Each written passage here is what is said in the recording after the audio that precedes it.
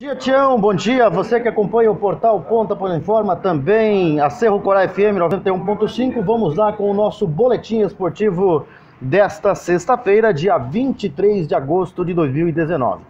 Falar que ontem nós tivemos jogo pela Sul-Americana, Corinthians e Fluminense, né? Ficaram no 0 a 0 mostrando os mesmos problemas do primeiro semestre, como a falta de criatividade e a escassez de finalizações o Corinthians não conseguiu superar o Fluminense no jogo de ida das quartas de final da Copa Sul-Americana ontem à noite na Arena Corinthians. Um empate por 0 a 0 obriga o time a ganhar o jogo da volta na próxima quinta-feira no Maracanã.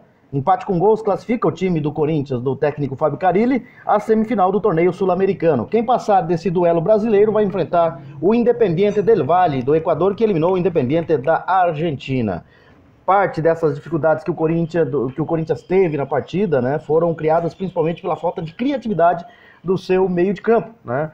É, e também pelo rival, que fez aí uma grande partida. Né? O Fluminense adotou uma postura é, diferente daquela que foi utilizada pelo técnico Fernando Diniz, demitido na última segunda-feira. Sob o comando interino do auxiliar Marcão, o time utilizou duas linhas com quatro jogadores recuadas ao se defender. Né? Ou seja, não saiu tanto para o jogo, conseguiu neutralizar as jogadas de ataque do Corinthians e é, teve até, em partes do jogo, postura ofensiva, né?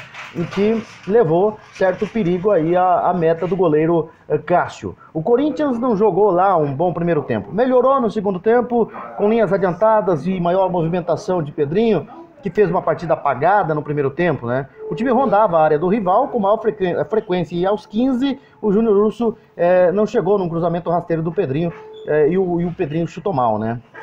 E aí o Corinthians teve aí algumas alterações é, que não surtiram efeito, pelo menos para abrir o marcador, ficaram no 0 a 0 é, A decisão vai sair na próxima quinta-feira, né? Lá no Maracanã. Vamos ver o que, que acontece. Quem se classifica desse confronto brasileiro entre Corinthians e Fluminense? Primeiro confronto, 0 a 0 tudo aberto. Se o Corinthians fizer gol lá é, e empatar com gol, se classifica. Se houver empate em 0 a 0 pênaltis.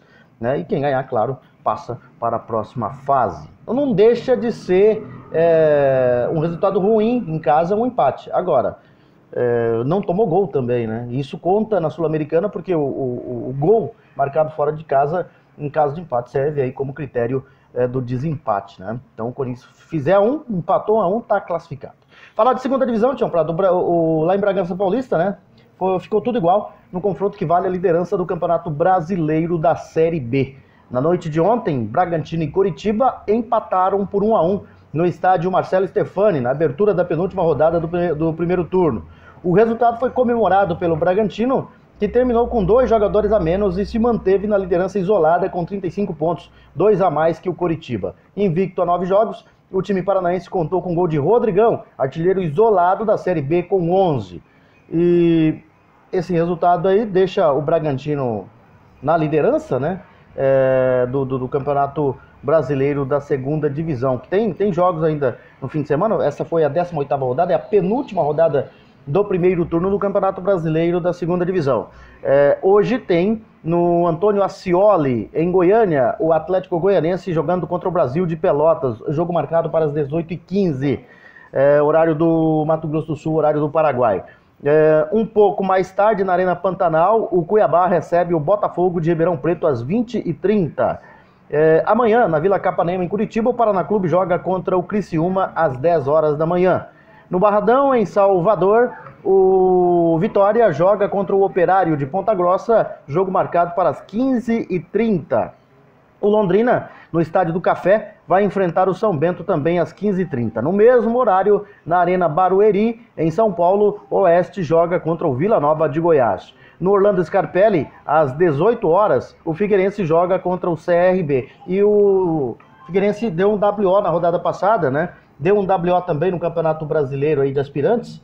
É, e a diretoria corre atrás é, para não dar WO. E garante que não vai ter WO nesse sábado do Figueirense. Né? Os atletas estão fazendo greve, muitos já não recebem desde o ano passado, né? Comissão técnica também tem problemas, é, mas o, a diretoria do Figueirense emitiu uma nota oficial dizendo que não vai ter WO no, no próximo sábado. E se acontecer é, de o um time der, der o WO, aplicar o WO mais uma vez, é automaticamente rebaixado para a terceira divisão do Campeonato Brasileiro. A Ponte Preta no Moisés Lucarelli, às 18 horas, vai enfrentar o Esporte Clube do Recife. E o América Mineiro, no Independência, em Belo Horizonte, joga no domingo às 10 horas da manhã contra o Guarani para fechar aí a 18ª rodada do Campeonato Brasileiro da segunda divisão. Na primeira divisão, é, a rodada começa amanhã, às 10 horas da manhã, com o Atlético Mineiro jogando contra o Bahia. E na Arena Grêmio, o Grêmio joga contra o Atlético Paranaense às 16 horas na Vila Belmiro.